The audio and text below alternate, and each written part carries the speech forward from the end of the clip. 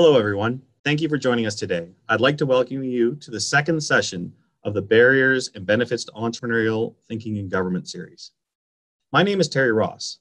I'm the director of the Hunter Center for Entrepreneurship and Innovation at the University of Calgary's Haskayne School of Business. The University of Calgary gratefully acknowledges that this event is not only being held in cyberspace, but also on the traditional territories of the people of the Treaty 7 region in southern Alberta, which includes the Blackfoot Confederacy, the Tsuut'ina First Nations, and the Stoney Nakoda. The city of Calgary is also home to the Métis Nation of Alberta Region 3. Part of our goal at the Hunter Center is to engage business leaders, practitioners, and students in these sort of strategic conversations.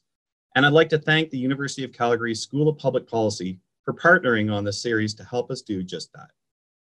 Don't forget that we'll be accepting written Q&A throughout today's event, you can submit your questions via the Q&A box at the bottom of your screen and be sure to upvote your favorites. We had an incredible response to last week's conversation with renowned author, academic Mariana Mazzucato, and she certainly left us with a lot to think about and discuss. We've got an equally engaging hour ahead with our expert panel who are going to look at entrepreneurial thinking in government through the lens of Alberta and Calgary.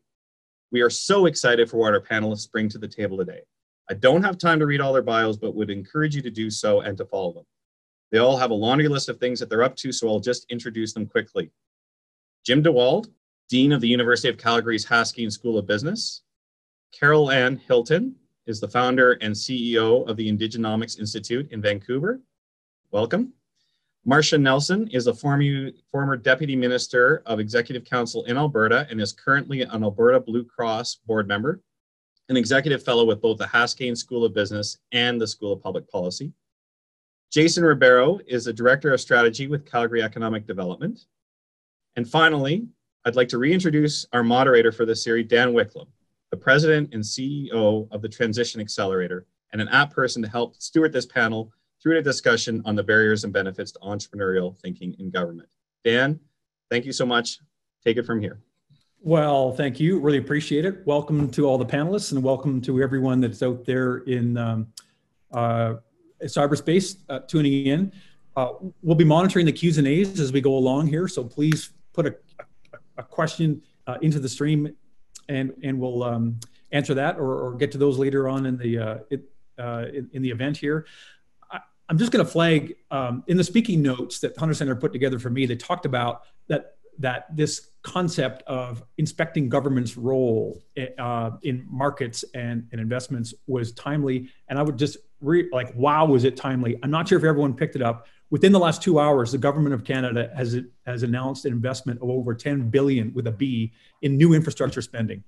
So, you know, the things that we're talking about here today in terms of uh, uh, role of government and innovation in government is could not be uh, more pertinent, more timely. So, again, this panel follows up on the presentation that was made by uh, Dr. Dr. Mazzucato uh, last week. If you haven't seen that, is it, it is on YouTube, um, so you can you can actually regroup. Oh, take a look at that if you wish. But let me summarize just very quickly uh, the topics uh, and the outcomes of, of last of the last event. So essentially, what her thesis is is that um, governments could be much more innovative, and in that we should be pushing back re-examining this sort of default that we have, especially in Canada and maybe especially in Alberta, that governments can't and shouldn't pick winners and losers, so they shouldn't. And the fact that the government as an institution could be and should be much more important in shaping what the future of our society is like um, through getting, getting much more involved in, in markets, being much more directive and being able to define an outcome about what we want our society to look like and, and how to get there. So the, the barriers that that she talked about were uh, the barriers of thing about, about why governments can't do this is because there's actually no narrative on the role of government to be able to do that. So they actually don't have public license to be able to do that. Uh, she talked about the risk tolerances inside of government, but also risk tolerance being of government being driven by the public. Uh, she talked about, frankly, the erosion or the lack of government capacity to be able to take on this role. Um, even if they wanted the role, maybe they couldn't.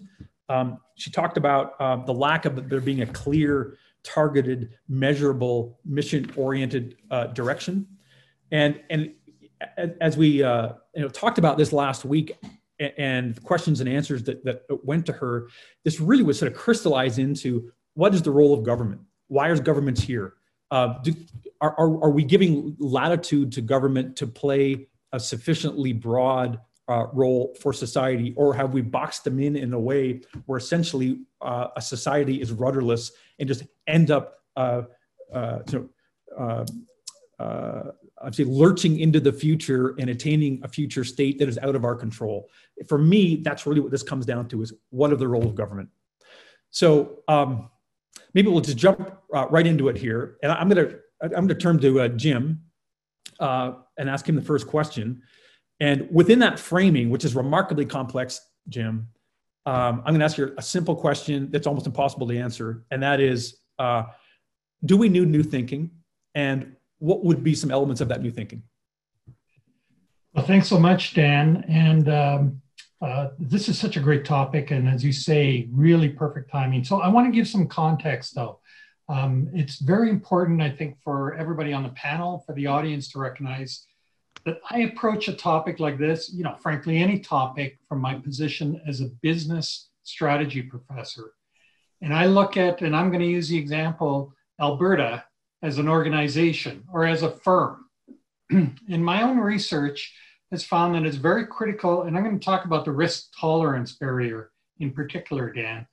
Um, my research shows that it's very critical for firms to reinvent themselves and to have a healthy mix of what we call exploitation and exploration.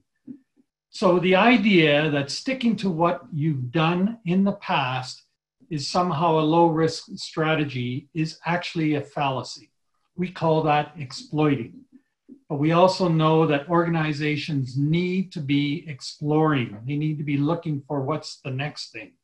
There's always a tendency for an organization that has been successful to pine for the good old days, if you will.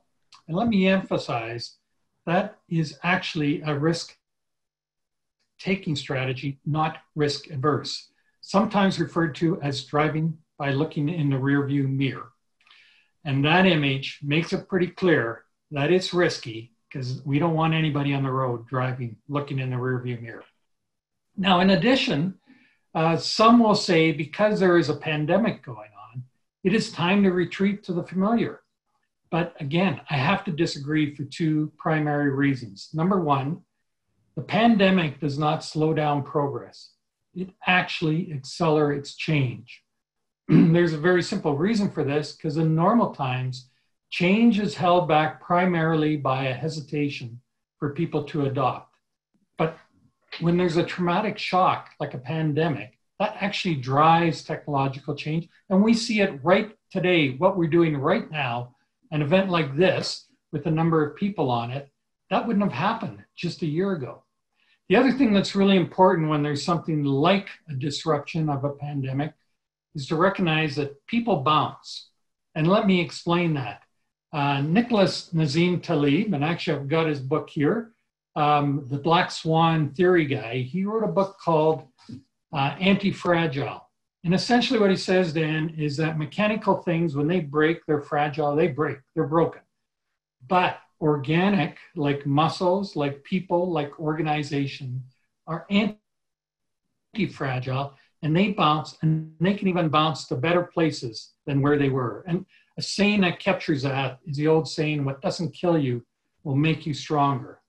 So in summary, I want to turn this idea of lack of risk tolerance totally on its head and instead, suggest it's highly risk taking to wish for a return to old ways and to not invest heavily in the future, particularly at times like that, like today. And that's uh, what I'm seeing, not necessarily seeing enough of, I'm going to say on a provincial level, but I think we really need. Thanks. Uh, yeah, great. So typical Dewald, very strong opinion, uh, clear, uh, succinct. So uh, Jace, I'll turn to you. And it seems to me that that same question is a is a good one for the panel to sort of uh, focus in on and maybe we can see a, a, breadth of opinion. So same thing back to you. Does Alberta need new thinking? And if it was, uh, what would it look like? Well, thank you for the question, or technically two questions. Um, and the answer that's a little moderator trick, by the way. So yeah, Uh, no worries. Uh, the answer to the first is yes. Uh, does Alberta need new thinking? Yes. Uh, but I want to step back for a moment and uh, be a little bit defensive uh, as an Albertan. As someone who's chosen to leave Eastern Canada to, to live in this province and is now raising my son here with my wife and possessing the perspective, frankly, of having lived and worked in places across the country and the globe, I can confidently tell you that if you pose that same question about another city, state, or country to leaders from that jurisdiction, you'd likely get the same answer I just gave. And, and really, that's why we're here today. Um, Professor Mazzucato's globally recognized work is not just interesting for its application to Alberta, because we happen to be so positively or negatively unique in the grand scheme of things. Uh, we're here because the implications of her work should be spurring very thoughtful discussions, uh, not just here, but across the globe, about how we collectively frame a better system for pursuing sustainable, inclusive, and innovation led economic growth. Because I believe if we did float the question, are the dominant economic and policy frameworks we've established as a society as good as they can be? I believe the overwhelming answer would be no, here and beyond. Uh, so I wanted to, to quickly introduce that caveat because so many decision makers are, are wrestling with these very uh, same issues. So given that uh, I've established that Alberta uh, needs new thinking, uh, let me quickly introduce potentially two domains in which I believe that thinking needs to occur and to answer your question, what that might look like. So the first I would contend is in response to digital transformation and the fourth industrial revolution. If we can all agree that the game has changed. Why would we keep playing with the rules and the equipment of decades ago? Truly. Uh, why would we accept in economic or fiscal policy what we wouldn't accept in literally any other realm of life when the stakes are this high? No one would uh, skate for a puck against Johnny Gaudreau with Maurice Richard's skates. So, why would we meet a new digital era without uh, new frameworks for, for co-investment, particularly downstream, and long-term public financing for research and development that embraces risks and rewards, uh, uh, both risks and rewards across the innovation chain. Uh, and then the second is the fundamental need to take a, a cross-sectoral approach in addressing these really, really wicked problems facing our province. And I make these uh, remarks not only wearing the hat uh, of the Director of Strategy at Calgary Economic Development, but as a doctoral candidate researching cross-sector partnerships, uh, but also interestingly, interestingly enough, as a, as a former political commentator. Uh, a smart government and a strong economy go hand in hand. And what has been well documented over the last 40 years is the rising anti-government sentiment that has emerged globally, but particularly in North America. It has, you know, proven to be uh, remarkably successful in politics, but in every way has hamstrung the ability for, for any government's resulting policy to be overly ambitious, investment and mission oriented, and also left us with uh, unequal growth and, and an alarming debt burden. Uh, so I want to make clear that smart government doesn't necessarily need to mean big government. And an investment driven public sector does not necessarily mean a big spending public sector that crowds out the private sector. It's about defining these higher level missions uh, in Alberta that matter to us uh, uh, as Albertans and forming the focused partnerships needed to, to execute them. So Mazzucato's framework for mission-oriented policy should be equally appealing to the political left and right and everyone in between in Alberta for its broad focus on adequately funding a strong and creative public service and for being uh, investment driven in a way that delivers healthy dividends and, and co-creates robust markets uh, for taxpayers. All right, great. Um, I'm actually going to reference one of the uh, Q's and A's from Gerald. And Jim, it looks like you've got a, a, um, a, fan there. Gerald starts off with saying, Jim is bang on. That's always good. Uh, what, and what Gerald goes on to talk about in that, in that Q&A is about culture. It's the culture of gov- government. So I wonder if we could sort of play with that a little bit. Carolina, I'll look to you. This notion of, you know, the overarching question is, uh, do we need a new way of thinking? But to follow on that is this notion of public narrative. And it seems to me that government culture and their ability to take risks to some extent is uh, dictated by uh, the, the latitude that the public, we as voters, give government in order to innovate and take risks and so on. And that requires a narrative. So, do we need a new way of thinking? And what's the public narrative now in the role of government in, in, in the public policy uh, realm?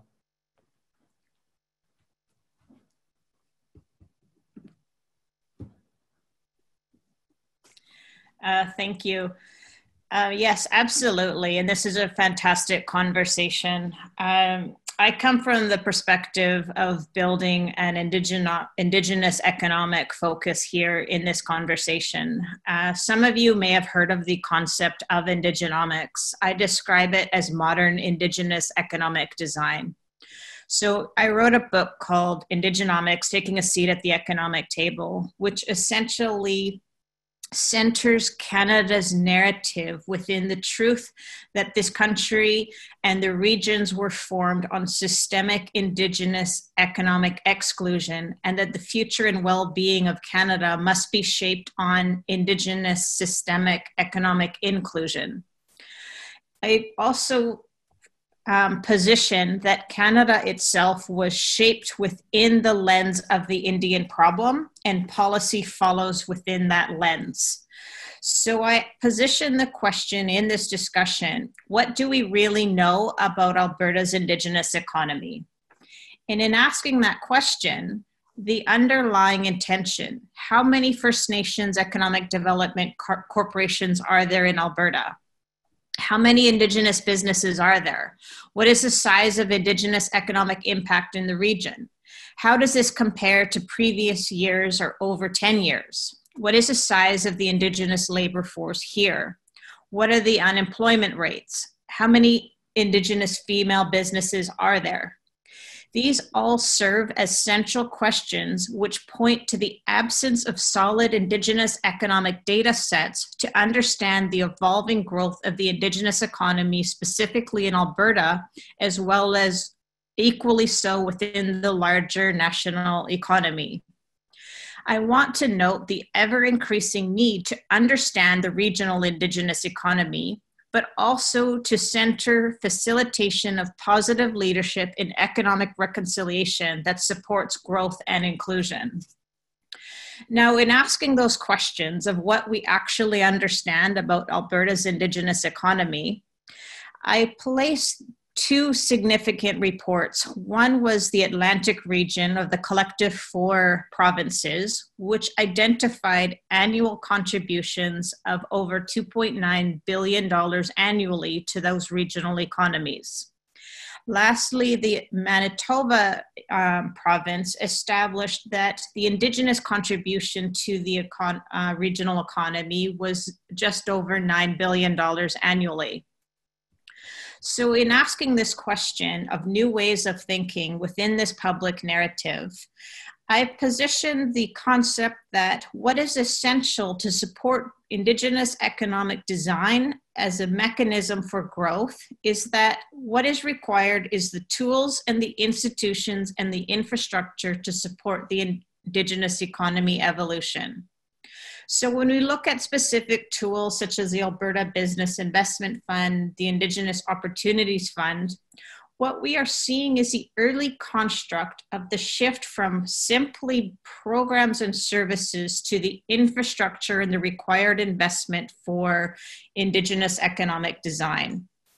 What I am intending to do within portraying the realization of the ever growing Indigenous economy is to locate Alberta's leadership in the national narrative of the evolving $100 billion Indigenous economy that I'm leading here at the Indigenomics Institute.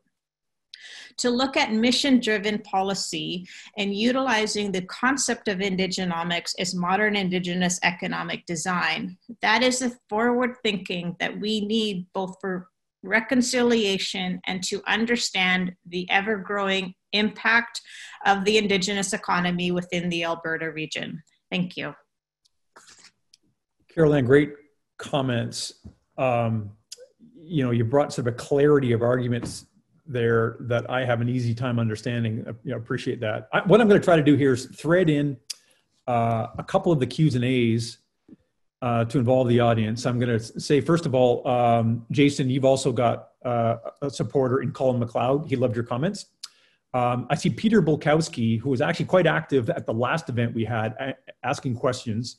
Um, this question here he talks about or, and asks about is this, this notion of um, not just looking forward, but having the ability, and, and is it not required, to look back in history in a framework of understanding what's worked and what has failed in governments. So I, am taking that as sort of somehow to embed any type of innovation that we have in the government in a continuous learning uh, framework. And, and then Pete Fenwick points I gave a link that is something uh, a report done by the Canadian Council of Academies. And just a very quick aside, if people don't know the Canadian Council of Academies, it's a it's an institution that was set up by the federal government. Um, so it's independent, arm's length from government, that has federal funding. And by definition, the inst- that institution takes questions from uh, governments, both uh, federal and provincial, and does independent analysis that governments have so in a very real way that whole concept you know that that organization canadian council of academies was a recognition that governments sometimes uh, don't have the ability to ask and answer even departmentally don't have the ability to ha- ask and answer independently uh, questions. So by definition it's almost an outsourcing of a government function that the government has has uh, institutionalized in this organization canadian council of academies. So um, and, and so let me riff on that then and, and look to you, um, Marcia. Marcia's an ex-deputy, um, uniquely placed to talk about government capacities and so on. So same questions for you, uh, Marcia. Do we need to think differently? But especially, you know, what are your thoughts uh, on Alberta government capacity and where that should be going? Thanks, Dan. Well, like everyone else, I'm going to say we do need to think differently. And maybe where I differ a bit is that having been in government, I see governments searching for that new thinking all the time. So to characterize government as a, kind of a monolithic behemoth of a single set of thoughts um, is is too simplistic. I think we all need to understand that government uh, and the con- construction of government is a very complex beast. You know, there are you know 24 departments. There's 300 agencies, boards, and commissions. There are different levels of government. There are, um, you know, political leaders and administrative leaders. So, you know, there's a lot of uh, independent thinking. There's a lot of independent interests. And uh, I think that's a construct we have to keep in mind when we're talking about government. Um, with respect to the Alberta government, you know, I, I would focus on three areas that I think uh, capacity issues uh, need to be uh, focused on and addressed. Uh, the first is increasing government's own policy capacity. The second is increasing its capacity to consult and engage with the broader public.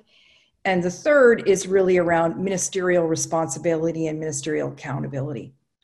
So, with respect to policy capacity, you know, in the 90s, when uh, the federal government went about cutting its uh, transfers to the provinces, all across the country, you saw uh, the reduction of, of, staff, you saw the reduction of uh, certain functions within government, and there came to be, you know, a view, uh, particularly in Alberta, that the role of the public service was uh, to implement policy, and the role of political leaders is, is to develop policy and make decisions about policy. And that had the result of really decreasing Alberta's policy capacity, the, you know, that ability to have lots of smart people in government that have the intellectual you know capital the intellectual capacity to be curious and ask questions and, and do the research and connect with experts outside of government. So as you rightly said dan there was a, a great outsourcing across many governments in canada of their policy capacity and i think what we saw in sort of the mid 2005 6 era was uh, recognition across the country that that has been a mistake. You know, again, going to our our uh, our audience member talking about looking looking back before we move ahead, we had to learn from that. And uh, so you saw efforts all across the country really focused on rebuilding government's policy capacity. And that's not just people, that's that's culture, that's leadership, that's uh, relationships. So I, I think uh, today, one of the things that the Alberta government really has to think about as it is reshaping itself in our new economic reality is that we really need to make sure that we preserve in government uh, the, the capacity to ask the right questions, to, to basically connect with what's going on there in the world and be creative about solutions we're proposing to governments. Secondly, I, I you know, the, the, consultation capacity, um, you know, it's absolutely incredible that uh, we have this range of tools available to us now to connect with citizens in a real time uh, method. And you know so i think no government has any excuse not to be actually uh, reaching out and trying to gather the advice and the opinions of citizens because as citizens we're adults now right? We we want to be consulted about our economic future. We want to have a sense of determination around that and not just leave it to governments you know in a black room you know in a dark room to think this up themselves. So i think the notion that governments need to have uh, better uh, consultation and engagement capacity built in right from the beginning is absolutely essential. And then the last point i'd make is, is i guess around ministerial accountability. What we've seen in modern governments is a tremendous tendency to centralize all uh, decision making authority and really all accountability into a very small group of people at what you would call the center right? And that means uh, usually means the premier's office the prime minister's office treasury board. You know in the end you can say at some points in government there's about five people running government and as you know as i've just said it's a very complex business so what happens when you've got very few people trying to manage many, many issues is you get a funnel, right? You get a very tight kind of capacity or lack of capacity to really deal with all the issues at hand. Uh, people call it limited bandwidth, right? That governments have limited bandwidth. They can only deal with a few issues at a time. And that's because governments have become too overly centralized. And I think one of the things we need to do in order to support innovation, uh, to support new thinking, is to make sure that ministers, who are responsible for departments and responsible for you know advancing all of our interests are actually empowered to get out there and connect with their communities uh, seek the best advice and move that forward so that, that, that would be my sense of uh, kind of the three things i think governments really need to do in short order all right all right, going into the questions here, and, and folks, keep those questions coming in. We're looking at them for sure. Here's your answer, your, your opportunity to ask the tough things.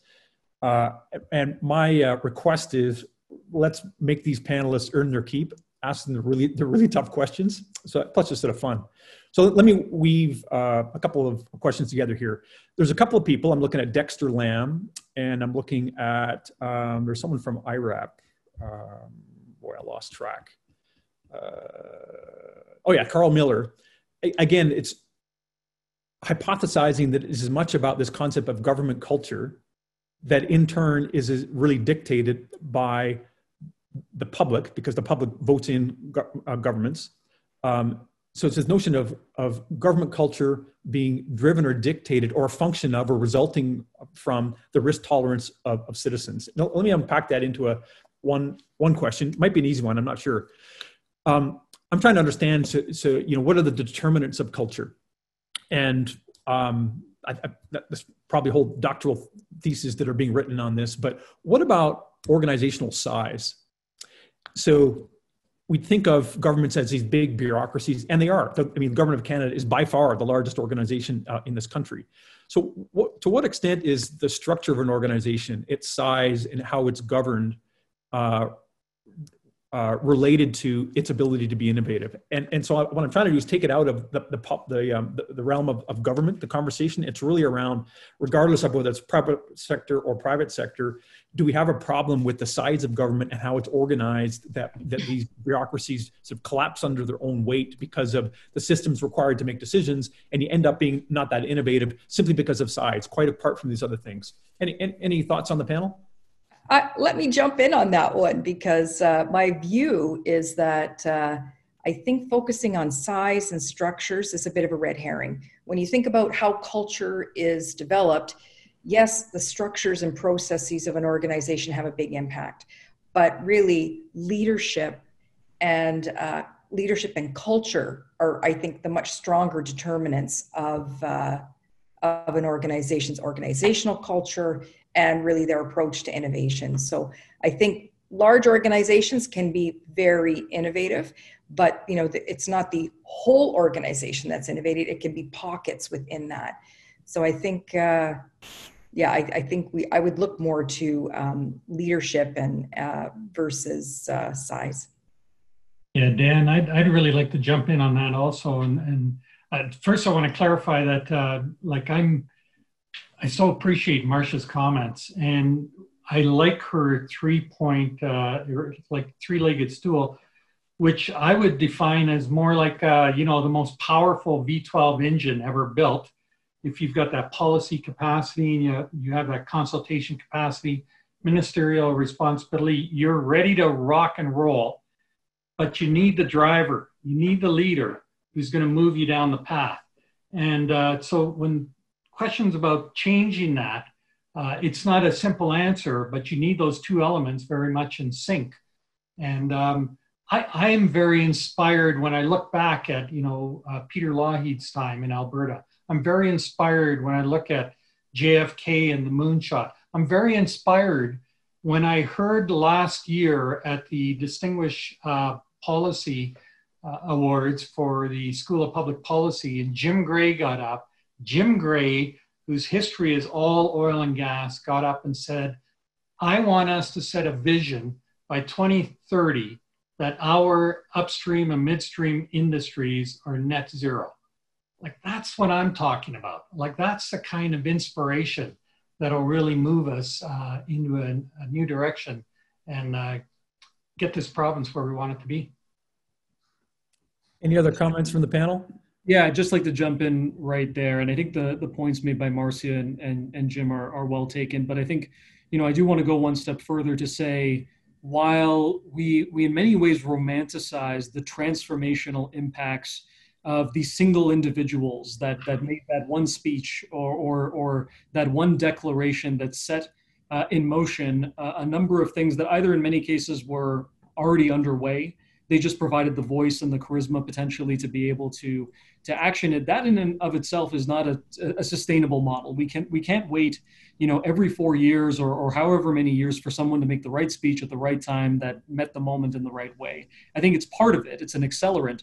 But i think we still need uh, and and to uh, you know dr mazzucato's point we still need to be you know mission oriented as a, as a society as as albertans. And that is not just one in the in the hearts of minds of, of one speech. That is something that we need to really focus on outcomes. And i think if we can address that you know the outcomes are not what we want uh, it will sort of spur the new thinking about what could be. And so if we think about the criteria uh, set out by by dr mazzucato uh, about these missions. You know, they must engage the public during their, their selection. They must be ambitious but realistic. You know, I don't think that we need to, to, to look too far uh, for examples that we can we can draw from. Um, you know, at, at, CED, our, our mandate is is literally cross sectoral in nature, in that we work with business, government, and, and community, and and not to chest thump too much. You know, we are executing a mission that pretty well meets Mazzucato's criteria and that is our community's economic strategy, Calgary and the new economy. You know, we consulted, we were thinking about these big audacious challenges, but what about right here in our local community? You know, we consulted over 1,800 Calgarians. We, we, we powered an audacious vision for Calgary to be the city of choice for the world's best entrepreneurs who are embracing tech to solve the world's greatest challenges, including cleaner energy, safe and secure food, the efficient movement of goods and people, and better health solutions. Uh, it's measurable, it's, it's time bound, and it was passed unanimously by City Council in, in 2018. So we have all of the pieces in place that would map to what uh, Dr. Mazzucato would define as a mission. We have to think more creatively about financing tools. Well, we're leveraging a pretty interesting financing tool called the Opportunity Calgary Investment Fund, which is $100 million of public dollars aimed at catalyzing economic growth, retention and diversification, employment growth, and an increase to the to the property tax assessment base, which is particularly vexing in Calgary. So this is not about uh, picking winners and losers, and this is also not about, I think, seeking out you know these very romantic suggestions of what could be. There has been some experimentation that we could really scale. um, and, and about fulfilling the missions that we've agreed to as Calgarians that fill in key gaps in our ecosystem and, uh, and as Albertans, I should mention. But leverages shared investment uh, across orders of government and the private sector and makes good on a promise that we're doing this together. That's what I think is really going to move move the dial here. So I think our, our province is in need of new thinking, that we need mission oriented visions uh, or more mission oriented visions. But that doesn't mean that we can't pursue them now or that we don't have good examples of experimentation that we can scale and reward. And the foundation for all of that should be the, the enough uh, commonality that exists amongst us as Albertans and particularly here as Calgarians to meet the moment with more entrepreneurial innovation and thinking. I, I, I don't think it's just government. I think all of us really need to rally around that. Interesting. Carol Ann, any, any comments on that, or we can move on to the next question? Um, for sure, thank you. So I come from a number of fronts. As the only Indigenous person that was appointed to the Federal Economic Growth Council, we look to today's announcement from the Infrastructure Bank, which identified uh, $10 billion uh, focus. That was a direct outcome of a jolt to the system of a belief that establishing the conditions and requirements for Canada to be um, best able to respond to a rapidly globalizing environment. Those are examples that happen at a national level, but also expressed at the regional level. So we also look to examples such as the digital superclusters, where we're seeing regional engagement, but designed from a government perspective. I also am coming directly from uh, for the BC focus, but the Emerging Economy Task Force, which was a 25-year outlook, but also driving uh, citizen engagement in policy design and that jolt to those systems. So understanding um, in the Mazzucato talk about the establishment of conditions of smart, sustainable, and innovative. I think that is the primary directives of which being able to reflect on new actions can support new thinking in a broader sense of how um, many people do we engage in this conversation. Thank you. Great, thanks. I'm going to change direction just a little bit here. It, it strikes me from the Q's and A's and the conversation from the last event and this one here that there's there one of the key issues again is this notion of the public and the electorate giving governments the latitude to be innovation and, and not punishing governments that try to innovate and have some proportion of the innovation, innovation inevitably fail. That's what happens when you, when, when you innovate. Not everything is successful. Um, do we have a good understanding of how governments have either succeeded in this or failed in this concept of innovating and directing in the past. Because it strikes me our public narrative is that governments have never been good at it, ever, no place, and therefore we shouldn't be doing this. That's that's. I, am look, I'm, I'm being a bit inflammatory here to, to, prompt some conversation, but I think there's most people I would think would tend to think that um, that's not the business government uh, should be in. Sort of uh, set the policy, set the regs, provide funding, get out of the way, let the private sector take care of it. You know, m- my null hypothesis is is that's actually not being fair to government. Um, but uh, panel, what do you think? Well, maybe I'll jump in, Dan. Uh, I mean, I know that's a popular narrative, but uh, Dr. Mazzucato made it very clear that the evidence doesn't support that. In fact, there's lots of areas where government investment has been critical, if not, you know, the crucial cor- cornerstone of innovation and growth. And, and I think we have to remember that. And uh, we do want to support that. I, I, just want to say I really agree with everything Jason said. Um, I think we're all aligned with this. There is a uh, there's not a risk in terms of uh, necessarily long-term success, but there's a risk in terms of politics because some things that you try to drive are not going to be successful. Some are going to be successful, and I think we have to be uh, careful to make sure that we're going in lots of different um, streams. And um, uh, so, anyhow, uh, in answer to your question, uh, no, I really don't buy that narrative that uh, governments are just inept at uh, supporting innovation.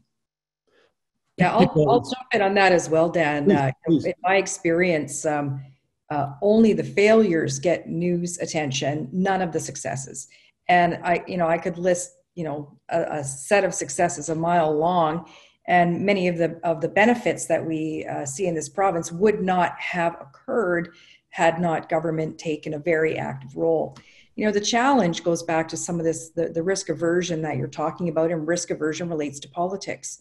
Uh, I, I, recall um, when I was Deputy Minister of Innovation and Advanced Education, we were trying to um, basically take uh, Dr. Mazzucato's advice and provide clarity to the plethora of innovation agencies that exist out there with government's critical priorities, right? Because there's all kinds of, of agencies that have been um, developed and, and mandated to, to do this work. In part, government develops these arms length agencies in order to kind of transfer risk so that when decisions are made, it's not being made by a minister through a political lens, it's being made by you know a third party uh, or an arm's length agency informed by science and consultation and all these other good things right? So these agencies were desperately seeking direction from government about what's important to you because there's only so much money in the you know that's allocated in the system. So we spent time with health agriculture forestry um, economic development energy uh, environment, you know, all all the, uh, the, the the sectors of the economy and all those departments and all those ministers to try and develop what are government's you know mission statements, right? What are our moonshots that we need to address? You know, classically you'd think of climate change and emissions reduction. You'd think of you know health innovation and and a variety of things, right? So we developed it. We put it all together. We had the the accountable ministers in a room and we were trying to get them to make a decision right? To, to basically get behind something you know anything. And uh, those ministers really struggled to do that in part because uh, they were concerned about the politics you know making some choices and not in terms of companies but in terms of goals. And uh, you know they were also not empowered you know uh, by by the political system and, and the premier of the day at the time in order to do this work. So, you know, I think the thinking is out there, but we need to make sure that um, the, the equation around risk tolerance is one that is, is, I think, more informed by where we need to go as a province as opposed to, you know, concern about uh, today's uh, headlines. Great, thanks. Um, I'm going to go to a, a, question from the audience here. Uh, Karen Benzies this is this is interesting because I, I think it, it, coming on the heels of that remarkable presidential debate that we most of us probably tuned into, um, and I take that as sort of as a commentary as the state of politics at its worst. Um, not trying to say that's what it's like in Canada or in Alberta, but that's politics at its worst, and that is, of course, the environment within which governments have to to innovate. So what Karen is talking about here is is this notion of what's the balance between public consultation uh, and action. So, you know, through Professor Mazzucato's uh, presentation last week and and several times on the panel here today, people talk about, you know, the ability for governments to innovate, requ- innovate requires them to engage, to, if you will, get public license from the public, get good ideas and so on. But we seem to be in this place now where uh, interest groups will definitely use public consultation as a purpose purposefully to put a stick in the spokes of progress. They will use that uh, to advance their means. That's always going to happen. And yet, so we're in this sort of uh, vicious cycle of needing to consult, but but having a difficult time stopping consultation, drawing conclusions, and acting. So, any comments from the panel in terms of of those dynamics, or the balance between the need to public to publicly consult, and yet at some point uh, act to achieve a mission?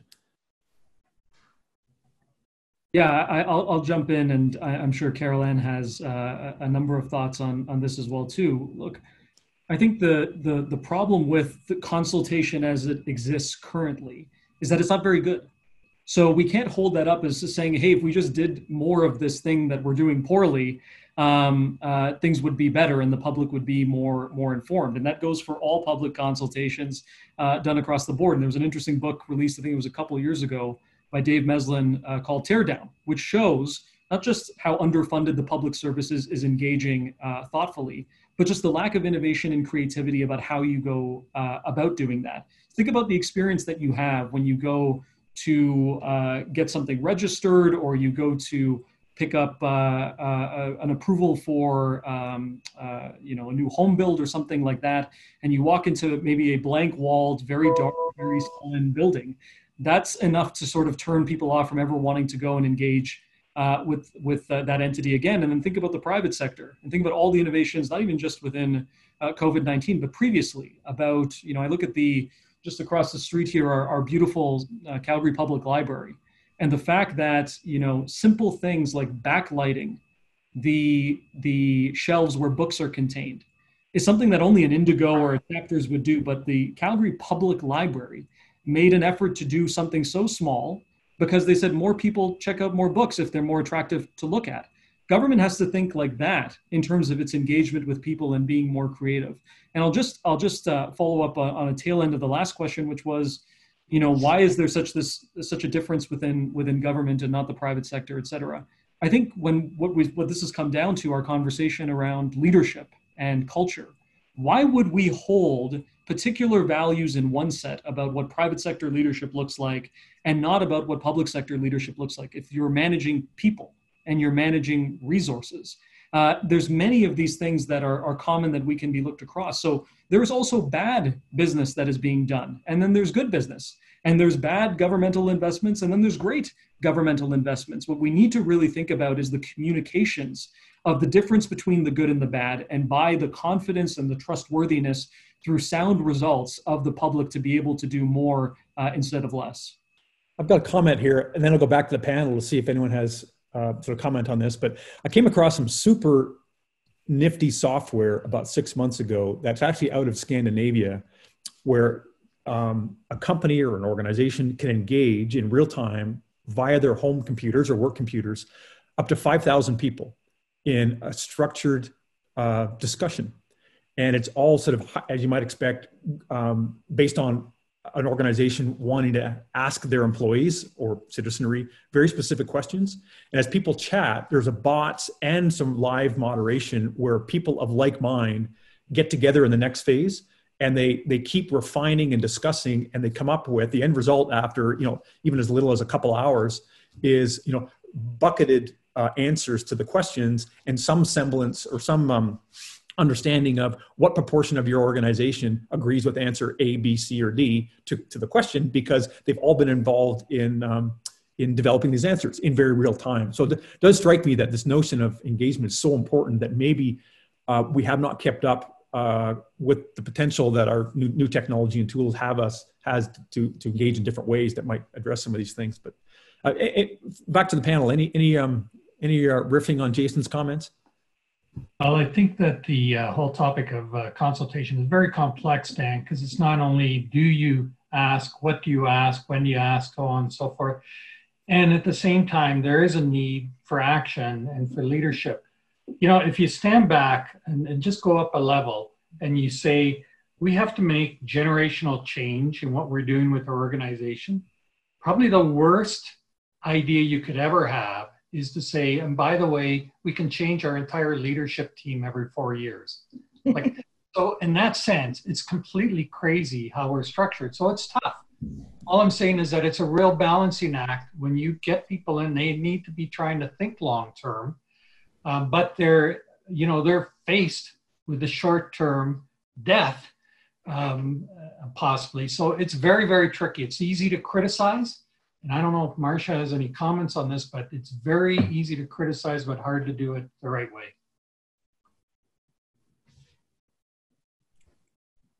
This is called a pregnant pause.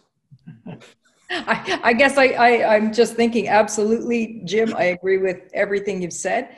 Uh, but even in four year uh, uh, time, limited time cycles, uh, I've seen governments be incredibly innovative and I've seen them suffer alternatively from what I would call consultation constipation, right? Like they just spend all their time consulting uh, and they never finish consulting and it never seems to, you know, go anywhere and then, you know, their, their, their term is up. But uh, certainly, you know, I've seen um, uh, great examples of how government has used kind of old methods, but also new tools in order to um, consult and, and develop really important policy. I think about the social policy framework that was developed uh, with uh, Dave Hancock's leadership, and I think there were like, you know, 40,000 people that were involved in the development of that, and that was in the early days of using wikis and and other kinds of online consultation. You know, the uh, the climate policy that was developed by uh, the, uh, the recent NDP government used an expert panel. It had public consultations. It had online consultations. It had you know a, a, whole set of tools that were brought to bear uh, to you know to bring action in a really short period of time and uh, it broadly had you know the the buy-in of uh, the majority of stakeholders at the time so i think you know I, I think there are ways to do this but you have to be invested uh, uh, in the, both the process and the outcome and too often and you know i'm sure carol ann would have some views of this that uh, you know consultations seem to be done to just check the box as opposed to have a, a, a meaningful and important uh, dialogue that will ultimately change your outcomes. So uh, that that requires uh, a real buy-in to it. Carol Ann, any thoughts? We've got lots of questions streaming in here, so there's no no shortage of things to talk about. But any thoughts on that one? Um, for sure. So, coming from that Indigenous perspective, at the Institute, in driving a national $100 billion uh, Indigenous economic agenda that says at its foundation, Indigenous peoples are economic powerhouses. I referenced previously of this inherited concept of viewing Indigenous peoples as a problem. So, at the $32 billion value of the Indigenous economy currently, versus a $100 billion indigenous economy. From that regional perspective, I ask that question to future pace an indigenous economic reality. How do we make how do we make decisions differently at the policy level future pacing a economic target? So realizing that combination of investment tools institution and infrastructure that's really again what i would bring into this larger discussion of the construct and facilitation of asking this questions of where it is that you're going. Thank you. Great. Um, again i'm going to poach from the questions and uh, synthesize one. Jim, in your opening statement, um, one of the things I picked up on was essentially this idea that doing nothing is a decision.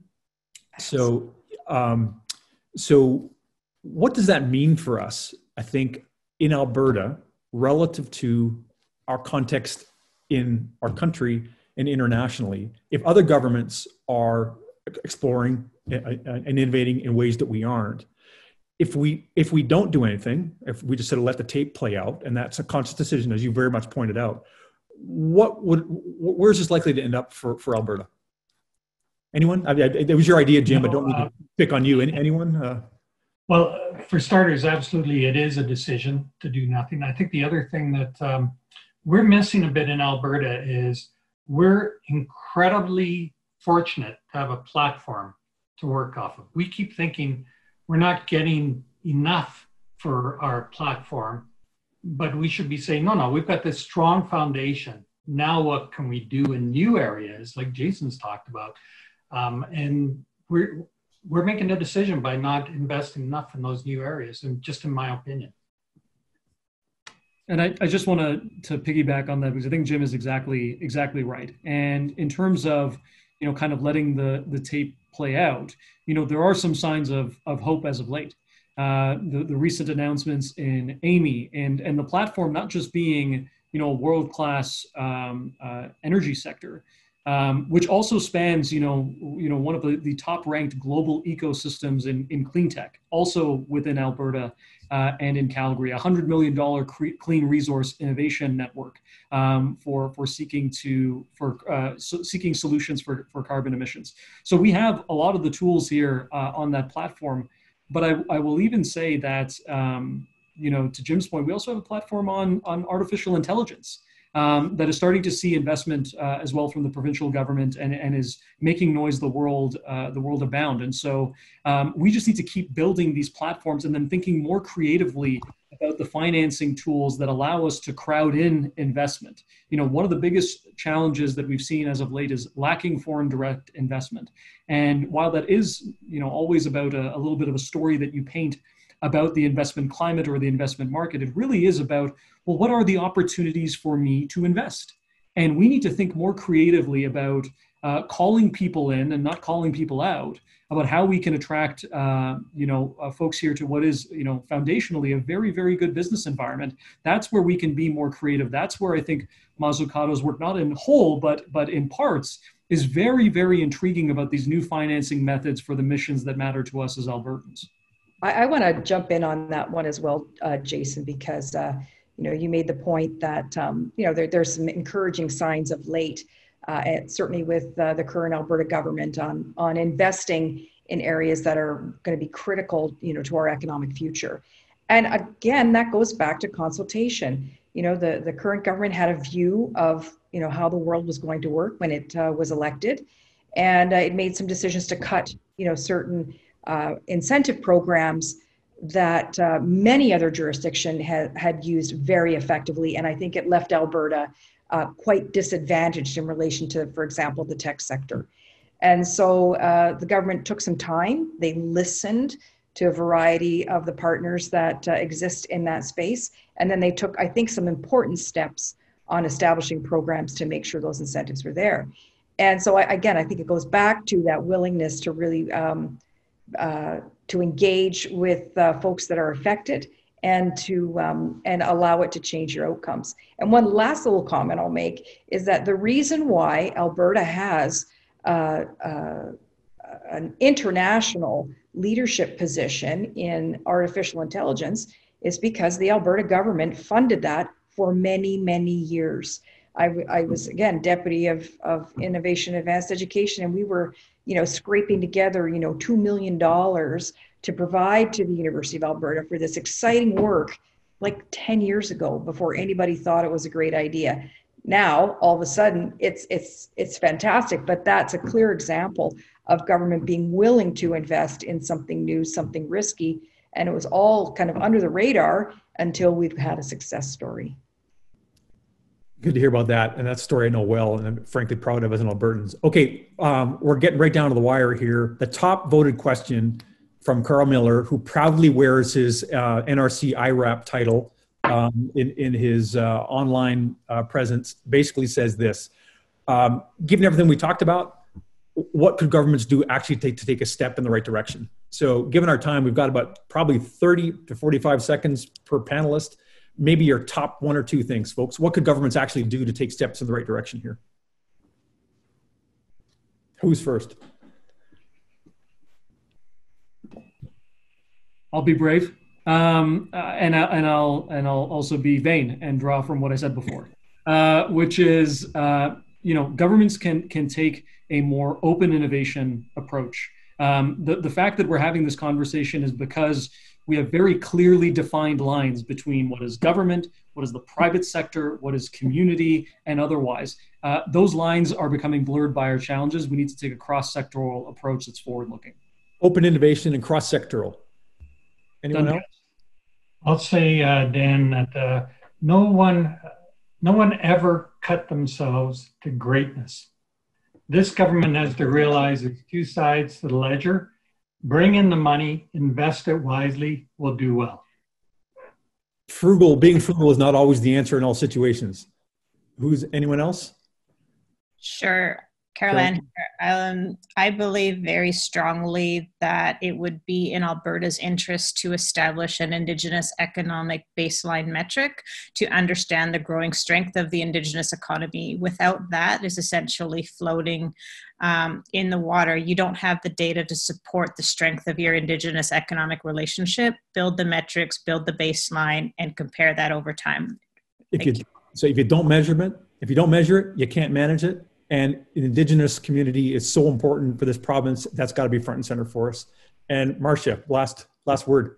Well I, for me i think it's absolutely critical the government set its priorities. Uh, be clear about what it is we're trying to achieve. And then you can develop partnerships. You can consult widely. You can gather the best solutions from all over the world and implement them here for our economic prosperity. If you're not crisp in defining where you want to go, you can't get there. So with that, I'm going to thank all the panelists. I'm going to turn it over to Terry Ross. I really enjoyed that, folks. I really appreciate you being on the panel. Terry.